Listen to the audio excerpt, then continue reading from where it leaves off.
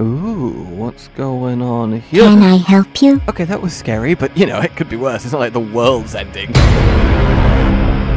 Oh, okay, sorry. That's on me, guys. That's my bad. Hello, ladies and gentlemen, fellow, well, I suppose I should say Armored Core fans, Fromsoft aficionados, and general soul hopefuls. Uh, Uh, how exciting is this? It might not be Elden Ring DLC, but make no mistake, this is equally ridiculously awesome. A new Armored Core, the rumors are true, it is confirmed, and oh, it looks good.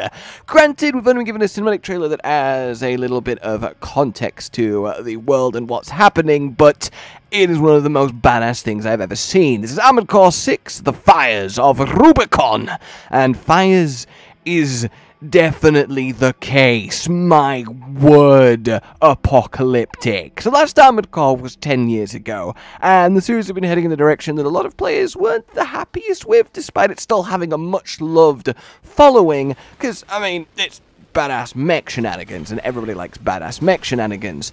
But it seems like this one is potentially soft reboot territory. I mean, they're literally deleting the world and starting over, and if anything's going to give them an excuse to essentially remake the gameplay ground up, retune it for an audience that's 10 years moved on, this is the time. There has been rumblings that it might end up a lot more Souls-like, and I could totally see that happening, especially uh, with, well, the huge success of Elden Ring, and let's be honest, that's kind of what people are clamoring for and an armored core taking uh, the uh, mechs and uh, the glory and the combat in a Souls direction, making it more intense and deliberate in that sense. That's really cool. I can't claim to be the most experienced armored core in the world. I have played a few of them, but my memory has long since faded. But that is not stopping this being a ridiculously exciting announcement. And look, let's be honest, at this point, a game by From Software is something to be hype about. They are, let's be real, masters of their craft,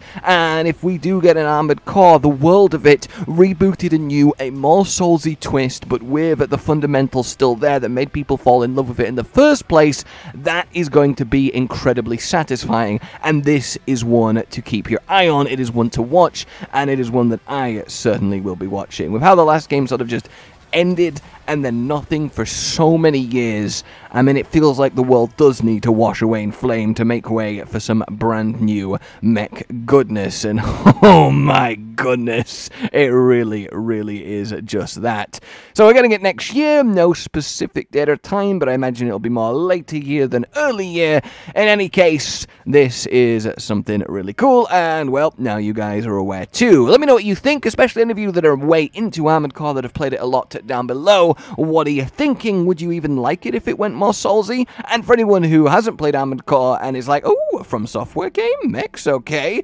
I mean, what do you feel like in a world of Souls-esque or at least more closely thematic inspired, but more futuristic apocalyptic mech combat. I mean, both options are really full of exciting potential. Let's see what happens as we look forward to the first gameplay. I also apologize if I've sounded a bit weird and there's less bells and whistles on this video as there normally is. I am currently away and I am doing my best. And that's all I can ask for. It's not like the world's gonna end. Oh yeah, I completely I completely somehow forgotten about that. Alright then guys, a follow-up video will be appearing very shortly, going over everything with Armored Core context, all the nitty-gritty details, everything we've spotted, every secret, everything uh, that you would want to know what's actually going to go on with this game, so look out for that. For now then, like you enjoyed this, subscribe and hit the bell for more, consider supporting the future of the channel on Patreon down below, and until we meet again, a goodbye. Josh, Cotton, and Hollow with the videos, dropping the humor like a hammer on your tippy toes, bringing entertainment on a daily arrangement to take our insanity and turn it into entertainment. Yes, I said entertainment twice, to reiterate that it is nice to look into your faces on a mostly daily basis when you let us in your homes to make the whole world a stage. Is, uh, goodbye.